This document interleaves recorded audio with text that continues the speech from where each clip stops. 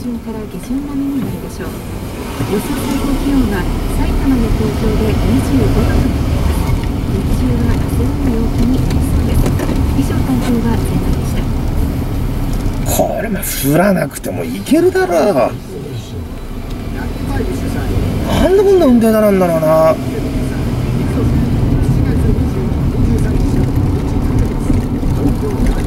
あれ降っていくのかよ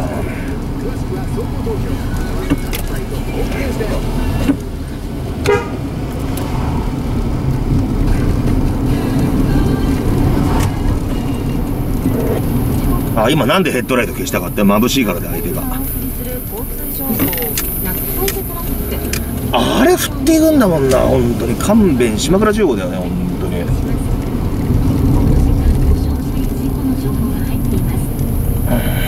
圏道のつくばこいつ分かってるね。さすが地元なんだ。